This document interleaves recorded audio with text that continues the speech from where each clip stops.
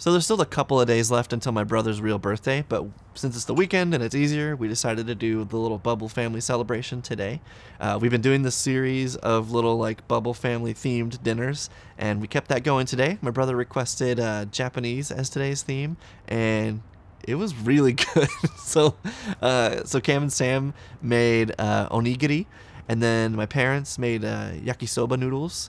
Uh, we made yakitori chicken, and then uh, Kitty and Taylor they did korokke, and then also a like Japanese cheesecake. I'm not sure if there's a word for that, but dude, it was probably like the best cheesecake that I've ever had. It was the consistency of like angel food cake almost. It was just like super light and fluffy and really really nice.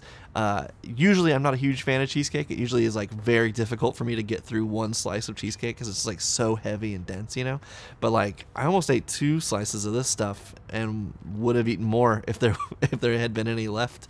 Uh, and the only reason I didn't, didn't eat two whole slices is because Crosby kept taking it from me. So Anyway, it was very fun to see everybody and get to catch up a little bit and eat some delicious food.